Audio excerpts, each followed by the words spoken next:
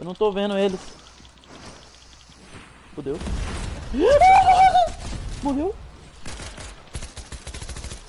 Não aguentei ele. Quero pícola! Perdão.